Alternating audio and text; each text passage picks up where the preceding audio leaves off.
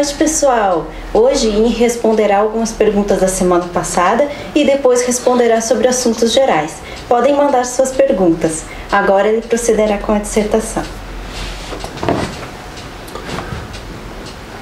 O Pai, eterno e inefável, Deus infalível, Criador do Universo, das culminâncias do teu reino, do trono do teu poder, do alto qual teus olhos temíveis tudo descobrem, tudo bem. Abençoe teus filhos com saúde, luz e justiça, porque tua é toda glória para todo sempre, ó Pai.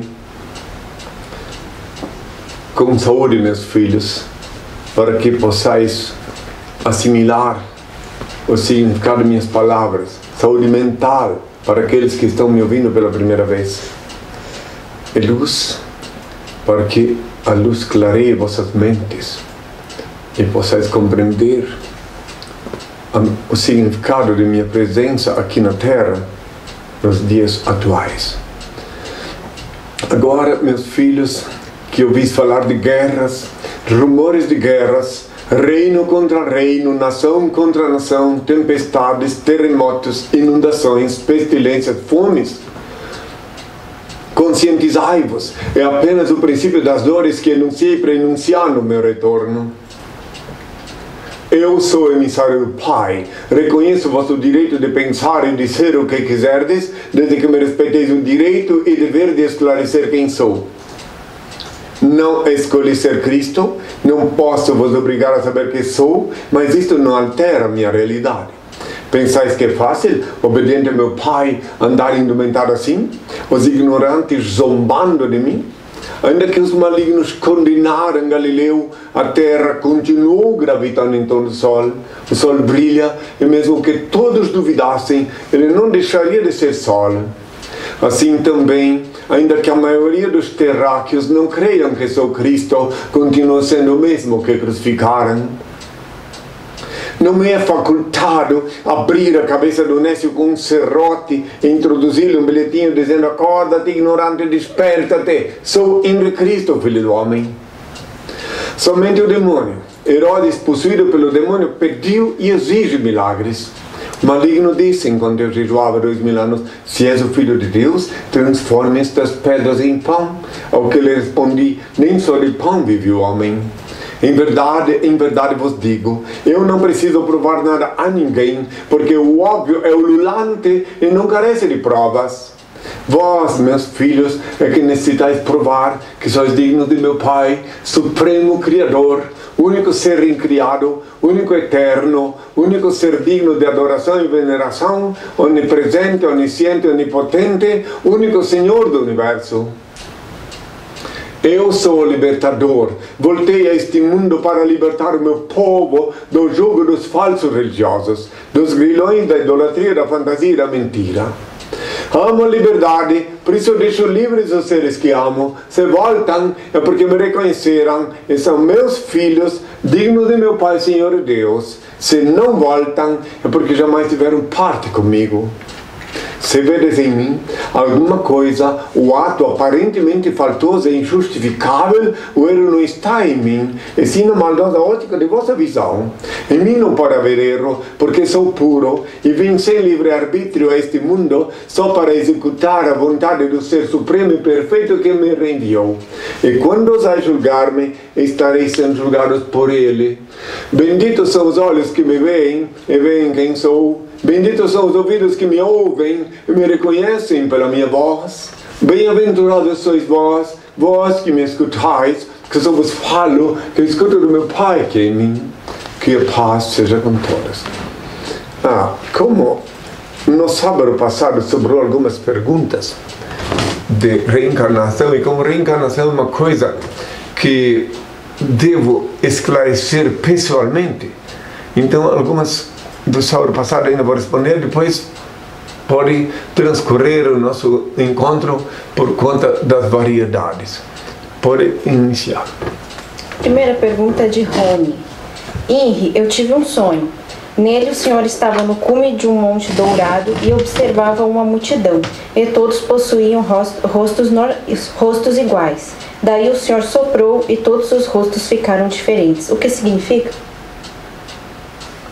O sopro desse sonho significou as palavras que saem da minha boca, que saíram há dois mil anos quando eu estava numa montanha e disse: Bem-aventurados pobres de espírito, o reino do céu será deles. Bem-aventurados são os mansos, eles herdarão a terra. Bem-aventurados que choram, eles serão consolados.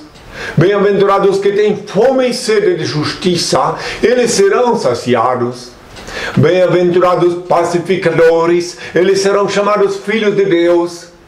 Bem-aventurados que são perseguidos por causa da justiça, o reino do céu será deles. Bem-aventurados sereis quando vos insultarem, quando vos perseguirem e quando disserem falsamente contra vós toda sorte do mal por minha causa. Alegrai-vos e exultai, pois é grande a vossa recompensa lá nos céus. Foi assim que perseguiram os profetas que vieram antes de vós.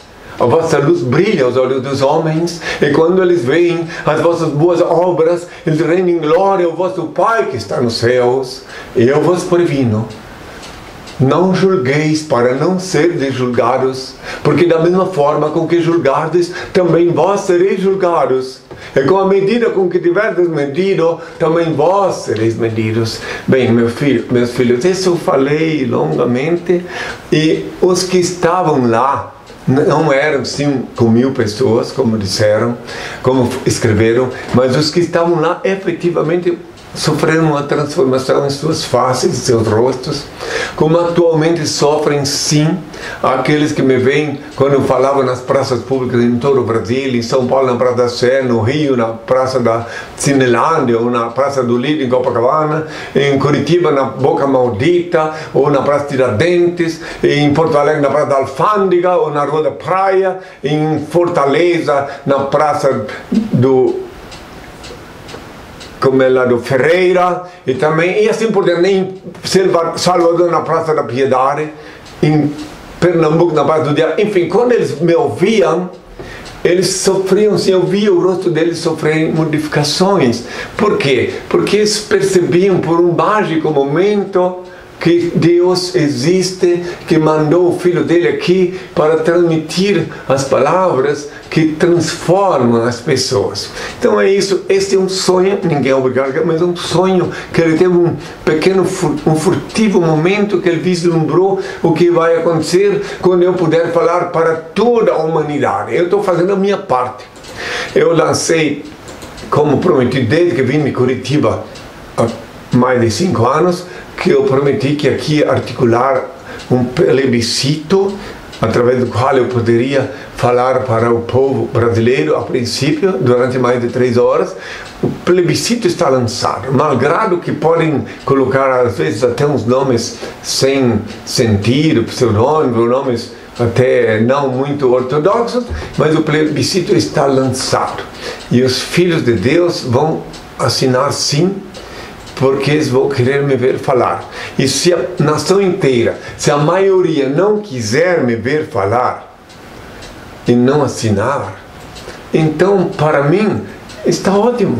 Significa que não podem mais perguntar para mim por que, que eu não faço nada, por que, que eu não, não interfiro na vida do país, na vida das le, da legislação. Aí não podem mais falar. Eu direi: olha, eu pedi a voz do povo, para mim é sim a voz de Deus, porque Deus interfere na voz do povo. Há dois mil anos eu me curvei à voz do povo quando disseram crucifique, crucifique. Pilatos disse: eh, Não vês que tenho poder para te crucificar e para te libertar? Eu disse: Nenhum poder teria se não te fosse dado do alto. Logo eu reconheço que a voz do povo é a voz de Deus. Por mais que às vezes Deus, meu Pai, o Supremo Criador, escreve, é obrigado a escrever direito mesmo que por linhas tortas, mas a voz do povo é a voz de Deus, porque Deus é onipresente, onisciente, onipotente em cada povo, em cada país, em cada nação.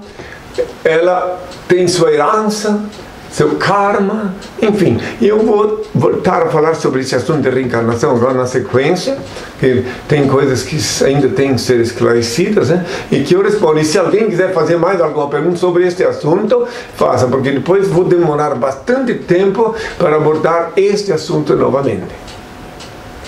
Luciano. Se alguém morre com um tiro no coração, pode reencarnar com um coração defeituoso no futuro, mesmo com o tiro já tendo pago seu débito? Não, não, não, tem nada a ver. Se ele levou um tiro no coração, na cabeça, não importa, algum, levou um tiro que ceifou a vida dele, ele pagou uma dívida karmática concernente à lei do talião, uma vida por uma vida. Aí quando ele volta, ele volta inteiro, normal. Entende? E se tivesse algum estigma no coração, concernente à perfuração da bala, só um cirurgião muito especialista podia ver, mas não causaria nenhum dano, não seria nem um pouco prejudicial para ele na nova encarnação. Rony, a esquizofrenia consiste em manifestação kármica? Se for analisar bem a fundo, tem a ver sim. Porque se a pessoa, se um ser humano tem sim a ver, só que aí tem que ir a fundo. Um ser humano que se torna esquizofrênico, independente do, da linhagem eh, biológica dele, que a maioria não depende da genética, a maioria se torna na sequência da vida, tem a ver com o karma, sim, porque se ele reencarnou, se ele renasceu, reencarnar quer dizer renascer, meus filhos, para quem pode confundir. Então, se ele renasceu num ambiente social, num ambiente propício a sofrer alterações mentais, a ter algum princípio de demência no cérebro, que nasceu num ambiente propício a se tornar um, um ser anormal psiquicamente, é o karma dele. Sim, tem a ver com karma, porque a lei do karma rege tudo. É na lei do karma como também a lei da pré-existência da alma, que foi suprimida da doutrina cristã nos tempos de Justiniano, que é a mesma coisa. Lei do karma tem a ver com a vida anterior. A pré-existência da alma, como bem diz o termo, pré-existência, quer dizer que, né? Isso não vou entrar nesse mérito agora, mas quero dizer que sim, quando o indivíduo nasce, se ele nasce numa favela, às vezes um indivíduo nasce numa favela para depois ser um, uma, um magnata. Então é esse sinal que ele nasceu ali, porque ele tem que passar por um processo de aprendizado ali na favela, para desfrutar, usufruir lá no outro continente, às vezes como jogador de futebol, como já aconteceu. Aí, então é a predestinação, não que ele nasceu ali, porque tinha um castigo, porque ele devia para o karma experimentar os horrores da miséria. E sim porque ele tinha que aprender alguma coisa ali que ele ia usufruir lá na frente. E tem outros que nasceram, e tem pessoas que nascem na favela, estão dentro da favela e vão até o fim da vida na favela e eles não estão pagando karma. Tem pessoas que ali dentro da favela aprendem, são inspiradas a viver com pouco para ajudar os miseráveis, para ajudar aqueles que ambicionam muito e nunca poderão ter nada. Olha, eu vi na minha longa caminhada sobre a terra, eu vi nas prisões, que eu fui mais de 40 vezes detido, eu vi nas favelas onde dormi, eu vi nos lugares mais inóspitos que estive, eu tive a ocasião de perceber que nem todos estavam lá para pagar débito karmático.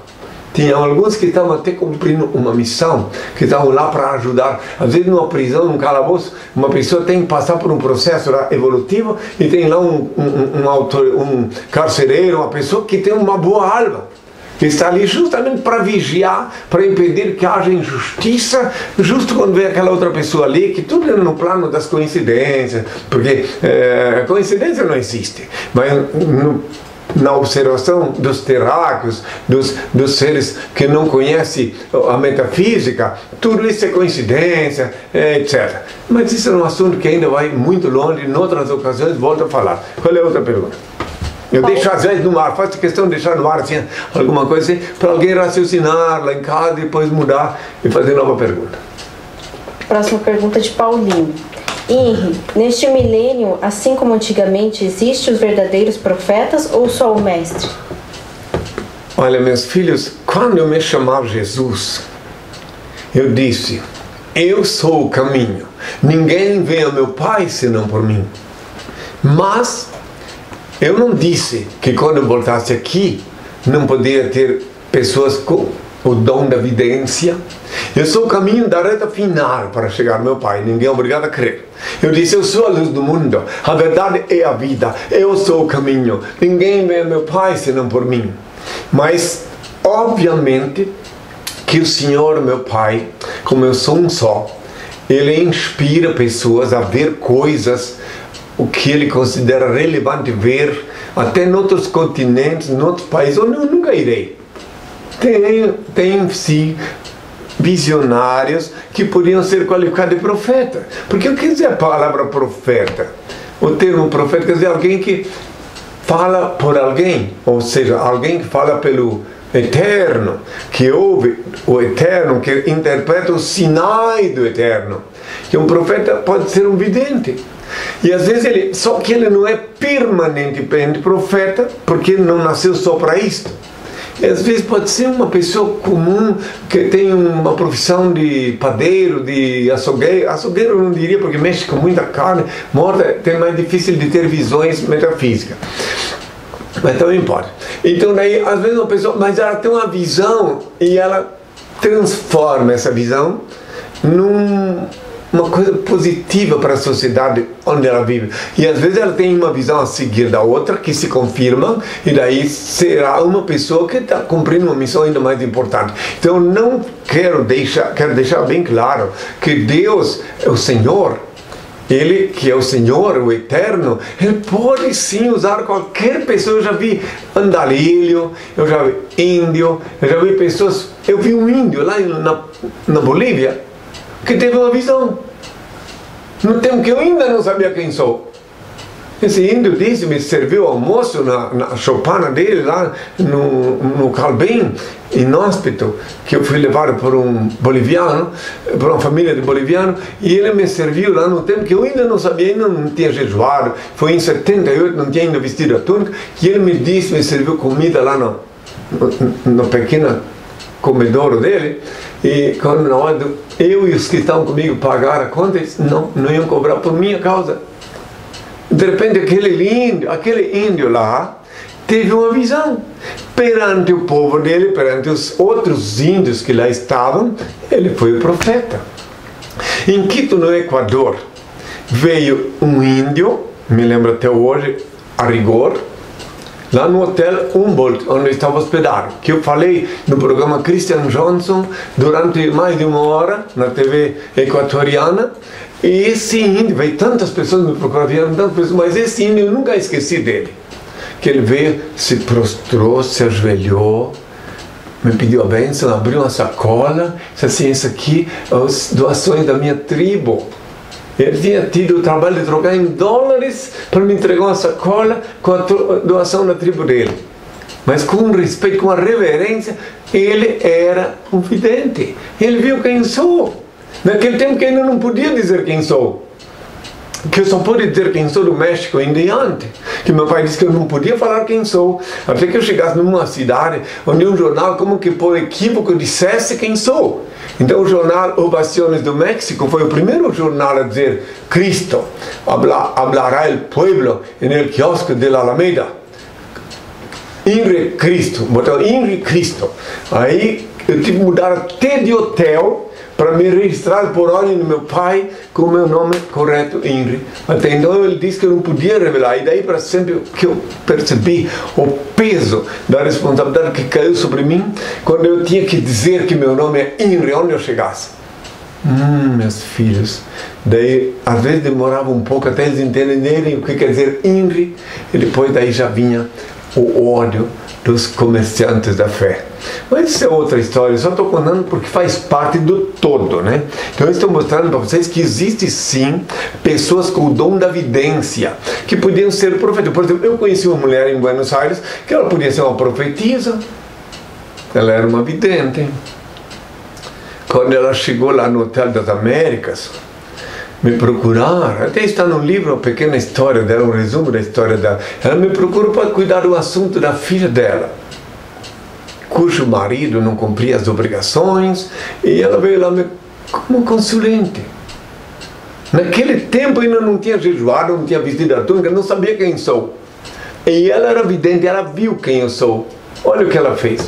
Ela me consultou como consultor metafísico e depois que terminou a audiência, que ela ia se retirando, ela pegou e disse: Eu também sou vidente. Eu olhei para ela e disse: vidente, por que não arregla os problemas de tua hija? Por que não resolve os problemas de tua filha?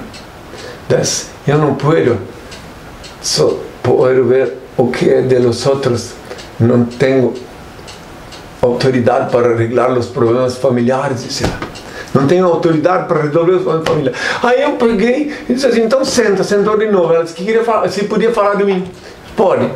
Ela me contou coisas incríveis do meu passado, que foi me impressionando. Das agressões físicas, me contou da minha prisão na, na, na prisão política de Assunção, no Paraguai. Detalhes ela me contou, eu fiquei muito impressionado.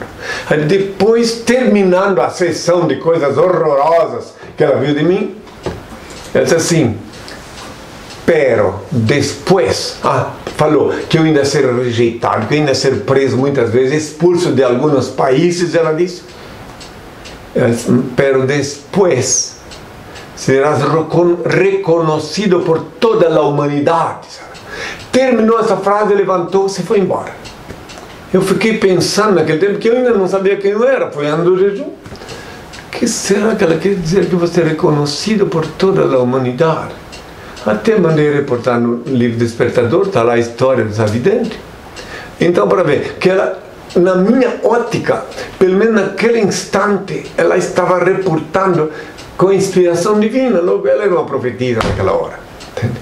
E na Bíblia tem casos assim, interessantes, passagens interessantes de pessoas de, do sexo feminino, que é qualificada como pitonisa na Bíblia, que tiveram visão. Então, respondendo essa pergunta dele, só para deixar bem claro que tem gente que confunde até hoje que quando diz eu sou o caminho, ninguém vê o meu Pai senão por mim quer dizer que ninguém vê a meu Pai senão por mim na reta final. Agora, meu Pai que é onipresente, Ele está em todos. Logo, Ele pode dizer algo para ti, que me ouves para ti, pode te mostrar alguma coisa num caso emergencial em que eu não posso nem falar, não estou nem aí perto de ti, que não tens tempo para me consultar, para falar comigo. O Senhor pode demonstrar sim, pode mandar um espírito de luz te mostrar algo para mudar, para melhor a tua vida.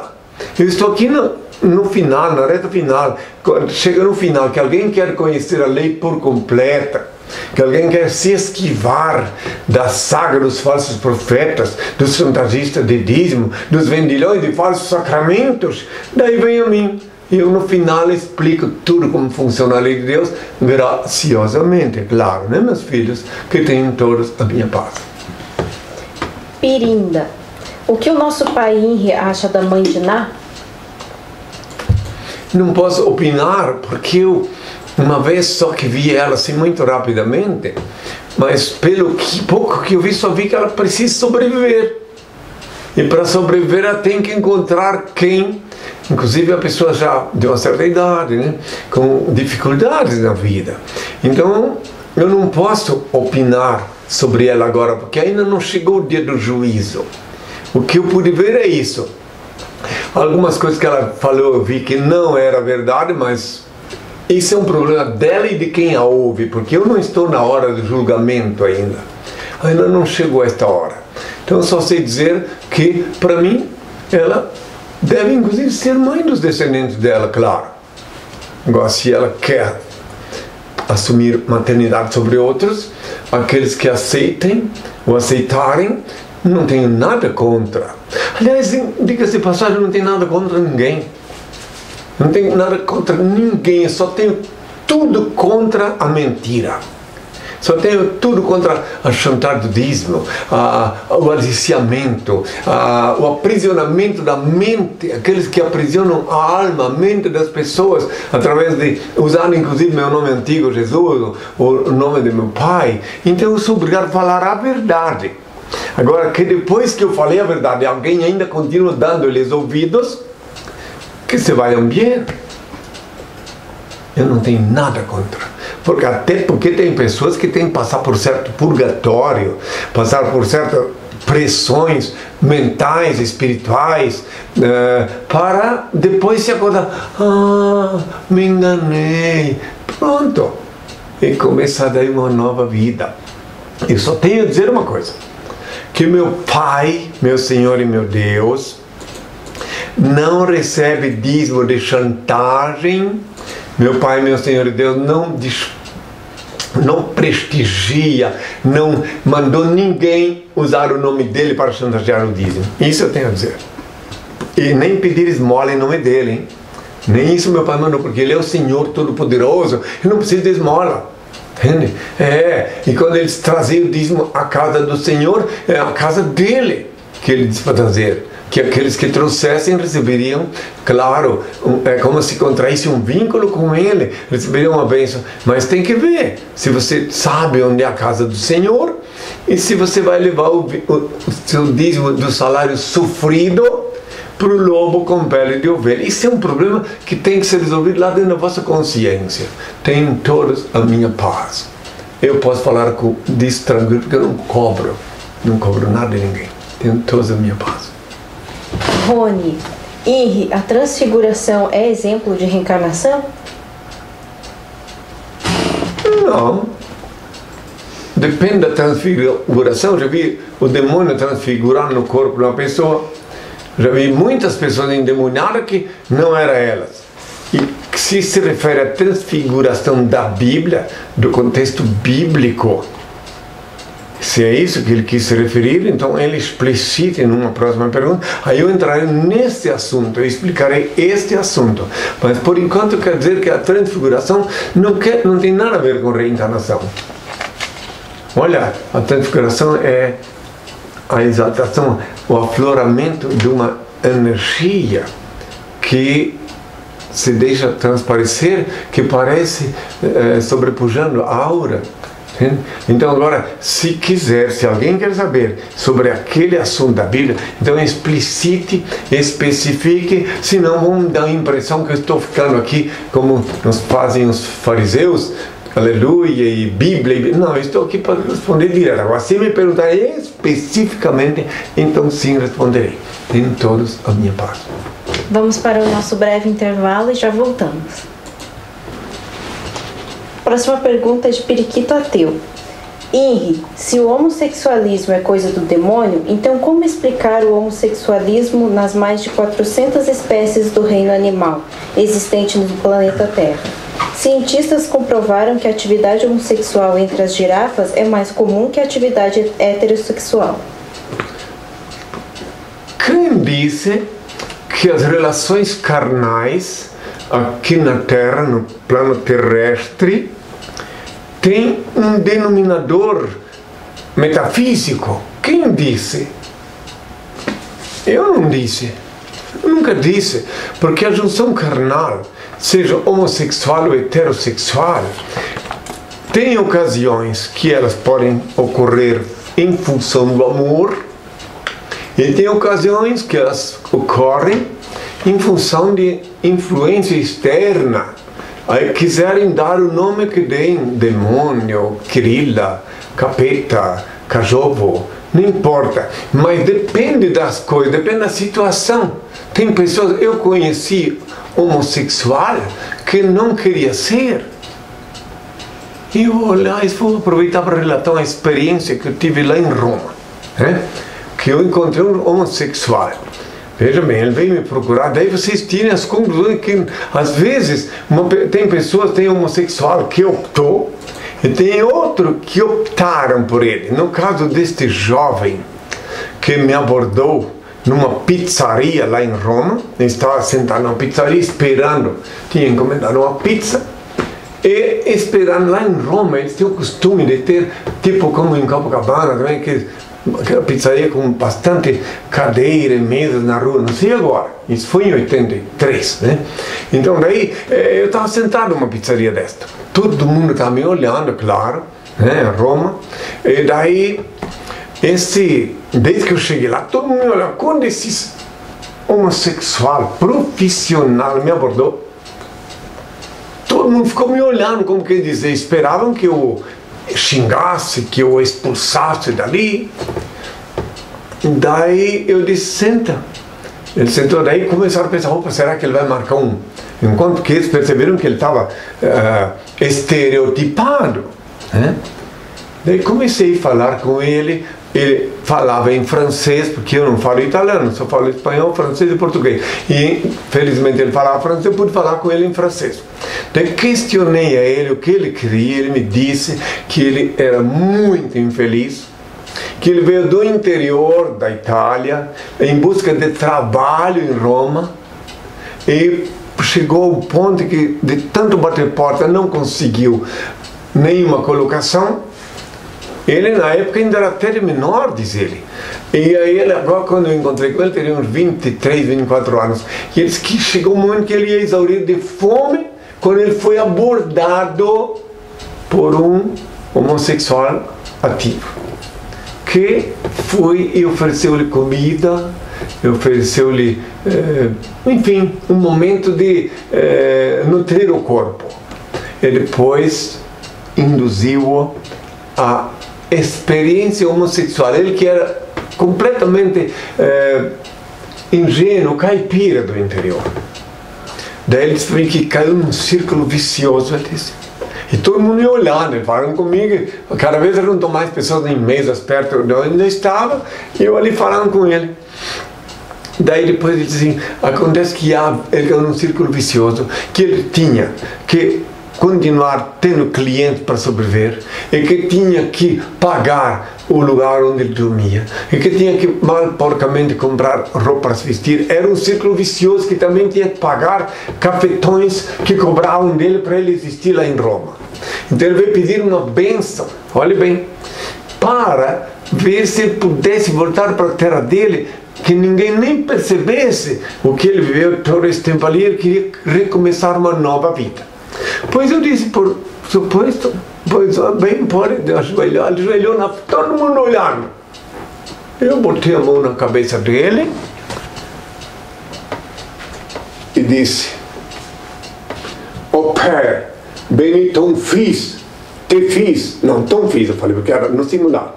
Avec santé, lumière et justice, porque disse toute gloire, aujourd'hui et toujours, mon Père, coloquei a mão na cabeça dele e ele foi embora e ficaram todo mundo meio sem graça, me olhando, que eles esperavam, os que estavam ali, que eu ia marcar um encontro com ele no rendezvous. E daí viram que tão somente eu estava ajudando o pobre infeliz. Então, este é um homossexual que não queria ser homossexual que para ver como tem vários. Então, nesse caso, já que a pergunta era se ele era do demônio, então foi o demônio que fez ele passar fome, foi o demônio que fez ele, né? Isso aí, é, cada caso é um caso. Tem pessoas que, olha, atualmente, só para vossa informação, quem me fez essa pergunta, há uns 40 anos para cá, aqui no Brasil, existe uma grande tendência da juventude se tornar homossexual, porque conforme Dr. Vignola explicou no livro dele, os frangos que se comem hoje em dia têm hormônio feminino. E não é só no frango também não, hein? Na vaca, em vários, são aplicados hormônio, no caso do frango, para ele crescer precocemente. Isso foi feito pesquisa aqui em Brasília, tem, tem um caso bem notório aqui de Brasília, eh, que eh, a medicina constatou que a criança estava sofrendo alimentação, até que mudou a alimentação dela, voltou ao normal. Então, eu quero deixar claro que o homossexualismo tem várias faces. Existem pessoas que optaram porque afinal de contas cada um deve ser tem a parábola do veículo particular. particular, onde eu explico tudo isso, para não ter que falar tudo aqui, está na parábola do veículo particular. Está disponível na net, enriqueço.org.br está disponível para quem compreender. Então, quer dizer, eu que não pratico sexo desde 1979, já não vivo com bombe no mundo, posso explicar com clareza, depois de ter constatado, examinado, analisado vários tipos de pessoas, que tem vários tipos de homossexual. E que não, tem, não pode culpar o, o, o quizá, eh, enaltecer o demônio por conta disso. É, porque aqueles que são podem se dizer que é o demônio e vão se ajoelhar dentro do demônio agradecendo por ser, que é aqueles que gostam de ser. Né? Então, isso não, é, não tem nada a ver com o demônio a priori, a princípio. Agora, depois, quando as pessoas têm por conta deste costume, cometem algum crime, aí muda, aí é o demônio.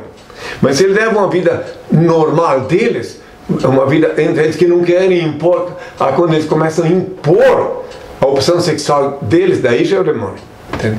Que cada um deve cuidar da sua vida, ninguém pode impor a opção sexual ou a opção religiosa a ninguém. Quando tenta impor, já é o demônio. Daí sim, já é o maligno querendo interferir no foro íntimo dos outros, né?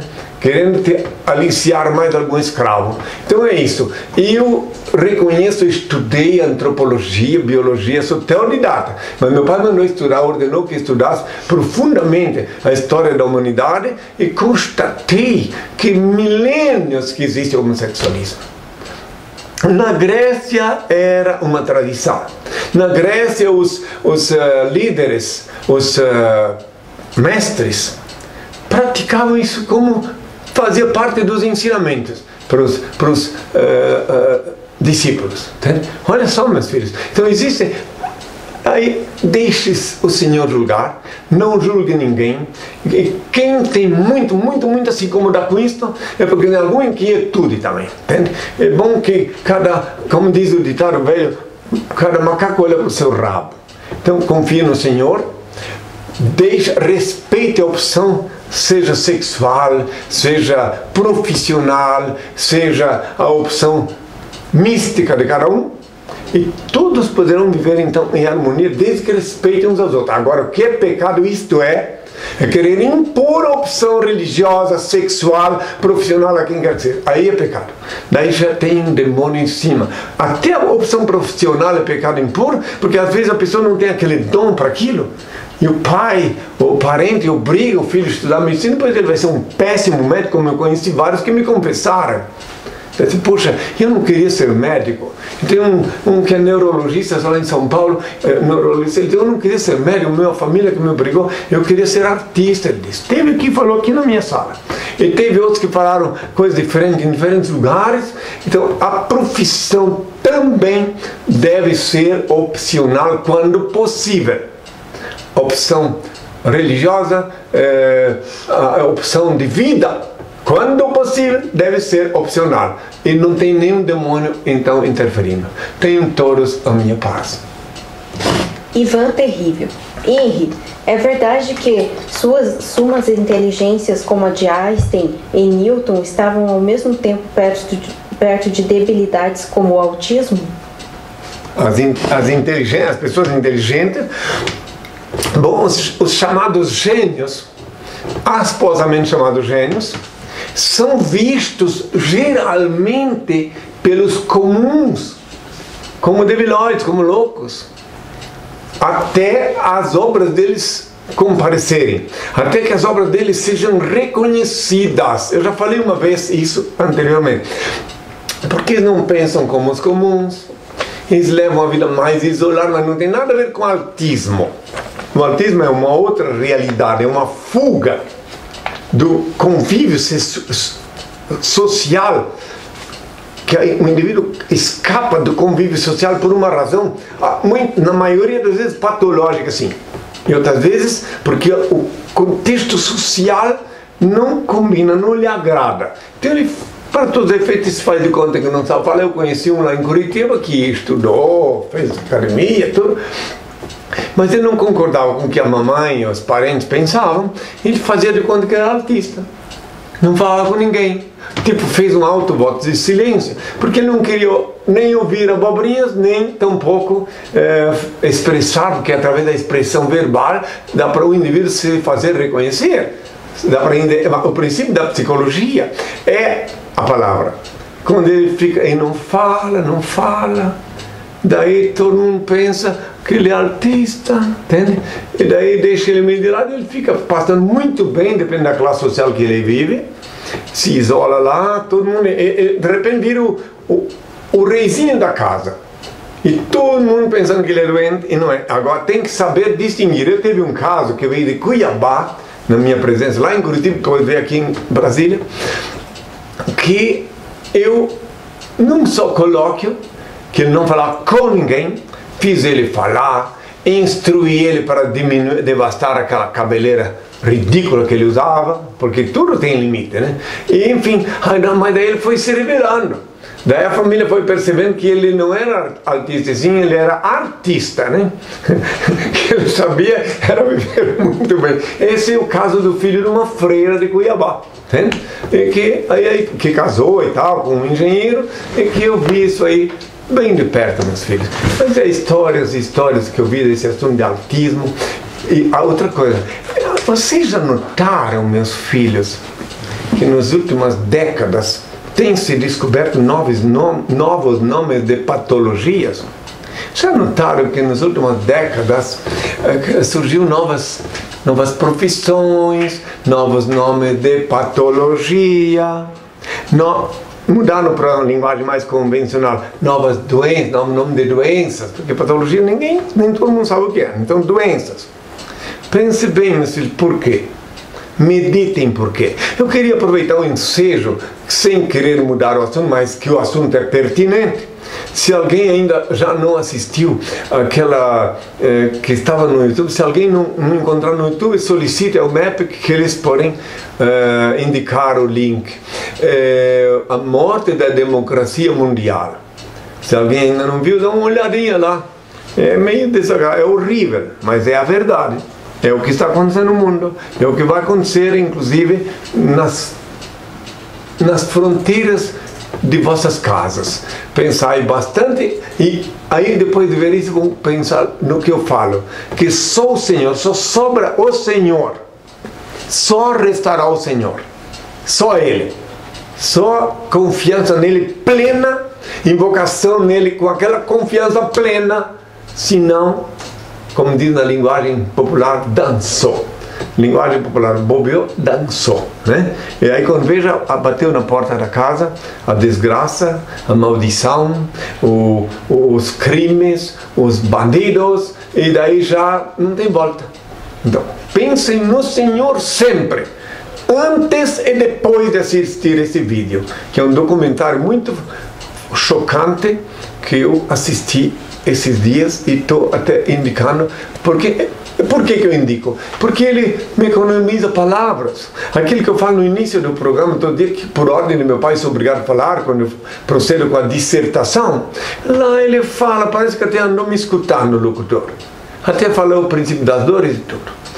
Meditem, analisem e questionem que eu possa explicar como proceder para não, não sucumbir no esgoto, no lamaçal, nas trevas que estão avassalando o planeta Terra. Tem todos a minha paz. Pergunta de Paulinho. Henry, tem alguma oração especial para a solidão? Muito interessante. A oração, vejam bem, meus filhos, para a solidão é a mais sublime, mais bela oração que existe. Vou proceder agora, como não vais ter tempo para aprender agora, depois na internet podes procurar em cristo.org.br e aprender. A oração mais forte, mais bela, mais poderosa que existe. Que aqueles que aprenderam a orar e prestar atenção como proceder na hora de dizer ilumine-me, tem que fazer assim. E sentir nas mãos o formigamento da energia sublime que vem do céu. O Pai, eterno e inefável, Deus infalível, Criador do universo.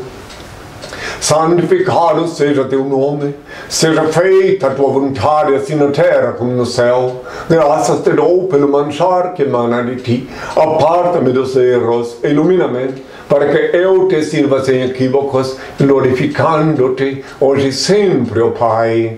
Então que a solidão, tu está no teu quarto, fecha a porta, como eu já ensinei há dois mil anos, Mateus 6, versículo 6. Ora o teu Pai Celeste no teu quarto. E por que, que a solidão irá embora? porque tu sentirás a presença magnética, mágica, sublime, majestosa da energia do Senhor. Se não sentires na primeira vez, ore uma, duas, até três vezes, até sentir que não tenhas acanhamento em te ajoelhar no teu quarto para orar, se precisares mesmo ser ouvido. Que o ajoelhar, o ato de ajoelhar não é um sacrifício. É a forma, a única forma que tu pode estar com as mãos assim para receber os pés com a palma da mão também exposta. Não tem outra forma. Meu pai disse, por isso que a oração é mais rapidamente atendida. Não é sacrifício que ele não quer sacrifício de ninguém. É a forma que tu fica mais corretamente, cosmicamente apto a receber o poder que vem do infinito, o poder do eterno. Então é isso. Claro que pode dar risada, dizer, ah, eu irei, olha, vem agora me ensinar uma oração. Mas se tu experimentar, tu vais ver que nunca mais vai ser o mesmo. E não é essa oração. É, ah, quero deixar claro que eu deixei sim adornando o Pai Nosso antigo, que eu dizia, Pai nosso que está no céu, santificado seja o vosso nome, venha a nós o vosso reino. Mas que o reino dele já está estabelecido na terra, que não é um reino de suntuosidade, sim um reino magnético, de energias, sinais sutis, cuja sede é aqui na Nova Jerusalém, em Brasília. Então já não dá mais para dizer, venha a nós o vosso reino. E olha, o reino de Deus veio não com aparato, como alguns esperavam, como está previsto, que viria sem aparência exterior. Ele veio, está estabelecido aqui, e todos os que se comunicam de alguma forma com o reino de Deus se conectam e começam uma nova vida. Tenham todos a minha paz. Dija. Senhor de Cristo, será que quando desencarnamos podemos visitar os parentes alguma vez? Muitas vezes, só que não é conveniente. Depois que se procede o passamento que procede, o passamento que o corpo, o espírito sai do corpo, o ideal é poder ir, poder se desvencilhar das amarras, das prisões terrenais, dos utensílios domésticos. Ah, esta aqui é minha cama, isso aqui é meu armário, isso aqui é meu automóvel, isso aqui é meu parente. É melhor quanto antes partir. Três dias no mínimo ainda vai ter que ficar aqui na terra. Depois, de acordo com quantidade de pecado, com o peso do pecado, se não tem muito, pode subir. E se não fica como uma alma, alma aqui, carecendo de um corpo para se apossar dele, para dividir o peso do débito dos pecados, peso dos, do karma.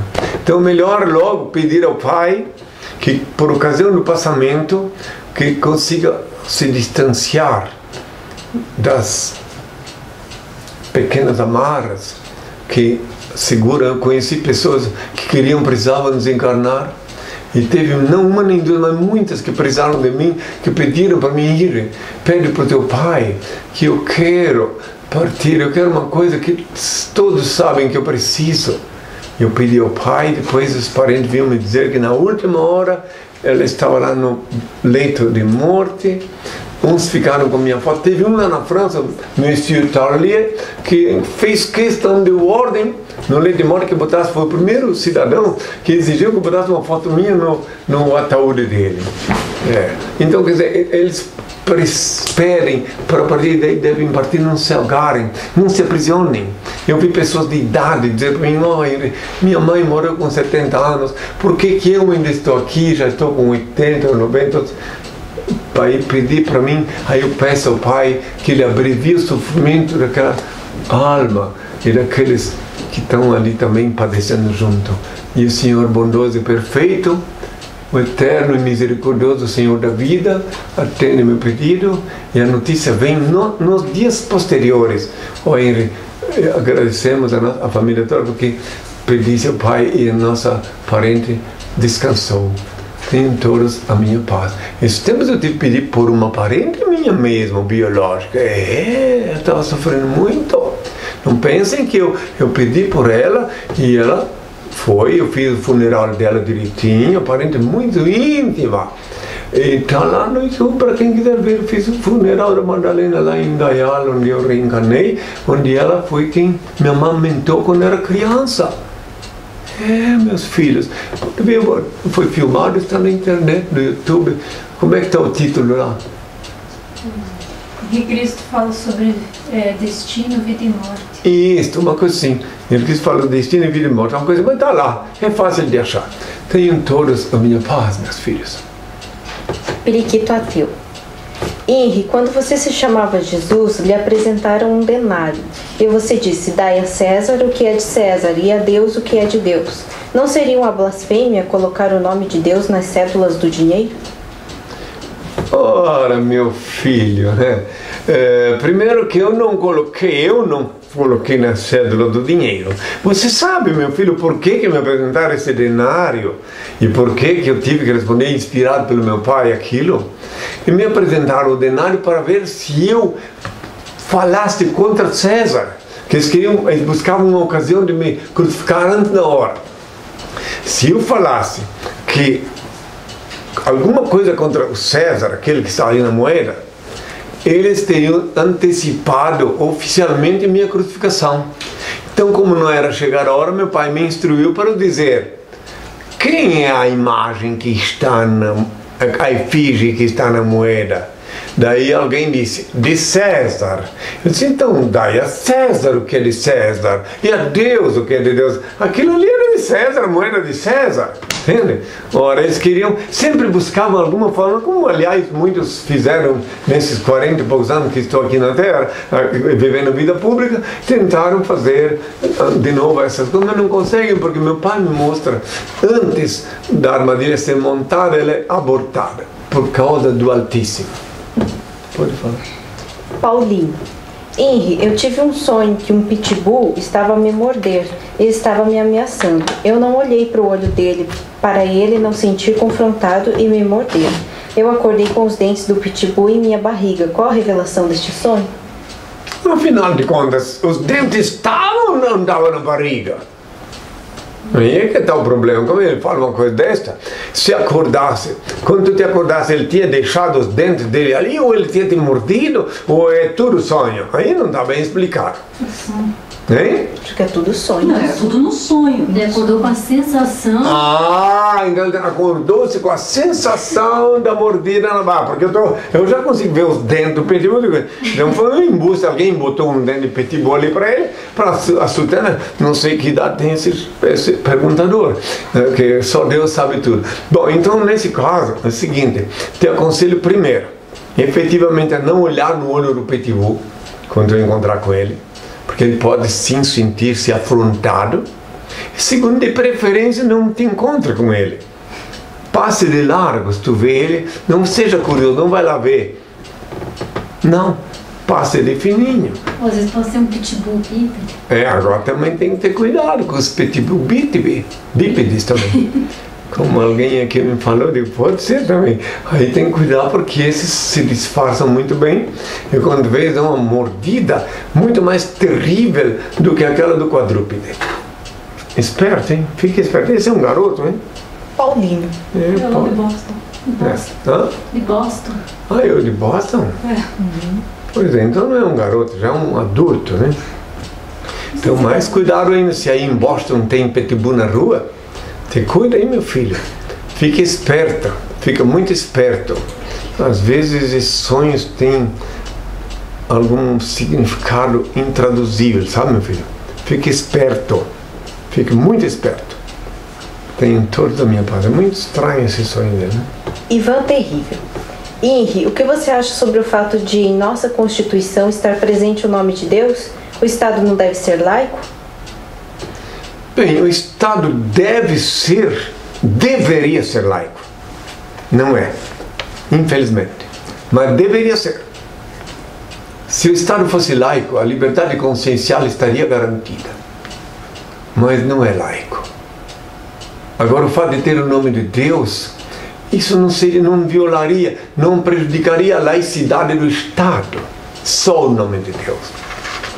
Porque não implicaria que todos deveriam crer em Deus. Eu não me lembro agora, precisamente vou investigar em que forma que está lá é, colocado o nome de Deus. Mas o Estado não é laico Isso aí seria o único. Esse de ter o nome de Deus ali não é o que tira a laicidade do Estado. O que tira a laicidade do Estado é o Estado ter estátuas nos setores públicos, nos departamentos públicos, onde todas as pessoas, por exemplo, se uma pessoa é, é, budista, ou digamos, quem não é budista e tivesse um Buda no gabinete de um um político seria já uma afronta. E se a pessoa é budista e lá tem uma outra estátua que não concerne a filosofia dele, e assim por diante, então isto sim é uma violação da Constituição no que tange a liberdade consciencial. Inclusive, eh, fiquem sabendo, para aqueles que não sabem, que o monumento mais conhecido do Brasil, que consideram o símbolo do Brasil, foi assambarcado por religião. Então lá praticam atos exclusivos religiosos lá dentro, dentro daquele monumento que foi, afinal de contas, construído com dinheiro do povo. Que, segundo me consta, João Avelanges, quando era escoteiro, arrecadou dinheiro para construir aquilo lá. E foi assambarcado. Então não é laico o, o país. Um dia o Brasil vai se tornar laico mas por enquanto ele ainda sofre as consequências, os resquícios que sobrou dos fanáticos aristocratas que tomaram posse do Brasil. Fanáticos, idólatras, se conhecer a história do Império eh, Português, quando ele veio para cá, dá até asco, nojo de ver o comportamento daqueles monarcas que vieram para cá para influir, para exercer influência dominante, diabólica e até criminosa sobre a nação brasileira. E tem ainda gente que toca trombeta para eles. Eu, eu, eu, leiam a história. Por exemplo, leiam o livro 1808. Um livro mais recente, para não ter que afundar-se muito na história antiga, esse livro já é suficiente para ter uma ideia do que estou falando, de como o Brasil foi dominado diabolicamente por escravos da idolatria. Danilo Elton. INRI, já notou que o mapa mundi está inteiramente de ponta cabeça, uma vez que o cume dos continentes está voltado para baixo e a base para cima? Quando a verdade reinar sobre a Terra, essa aberração será corrigida? Bem, junto com a aberração social. Quando. Tá bem, goodbye. Quando o, o planeta Terra estiver dominado pelo Altíssimo, porque ele permitiu, note bem, ele é onipresente, ele permitiu para que ninguém reclamasse da liberdade consciencial, que ninguém reclamasse do fórum íntimo, ele permitiu que cada um fizesse o que quisesse, optasse pela, pelo credo, pelos costumes que quisesse. Mas vai chegar um momento que vai ter digamos assim, a ordem disciplinar restabelecer. Então, tanto quanto os valores invertidos, que agora estão rigorosamente invertidos, tudo de cabeça para baixo, também o mapa será reequilibrado, reerguido. Se alguém quiser me dar crédito, ninguém é obrigado a crer no que falo. Mas dá para perceber, aqueles que me ouvem, que os valores estão invertidos. Dá para perceber que na sociedade contemporânea, e está completamente, estão completamente invertidos os valores. Um operário ganha 600 e pouco por mês, trabalhando de sol a sol, enquanto que o, um prisioneiro que está lá, que roubou esse mesmo operário, ganha 800 e poucos por mês para alimentar os filhos. Então tem umas coisas que deveriam ser melhor observadas. Estão invertidos os valores sim. A professora tem que ficar se escondendo do aluno, se escudando com medo que ele pode vir a qualquer momento matá-la. Enquanto que ele deveria respeitá-la e, e, e, vir lá eh, com toda a reverência, como foi outrora uh, diante da professora, da mestra. Que quem vai formar a parte, a, o intelecto dele, quem vai lapidar o intelecto dele, se é que, ele vai, que vai sobrar algum intelecto. Vou pedir ao Pai a bênção por hoje o Cuco já deu o seu recado e no sábado vindouro, com a graça de Deus, nos reencontraremos. Oh, Pai, eterno e inefável, Deus infalível, Criador do universo, das culminâncias do teu reino, do trono do teu poder, do alto qual teus olhos temíveis tudo descobrem, tudo bem. Abençoe teus filhos com saúde, luz e justiça, porque tua é toda glória para todo sempre, ó Pai. Que paz seja com todos os meus filhos, até sábado e até sempre. Então, pessoal, não esqueçam que quarta-feira tem programa de variedades. Boa noite.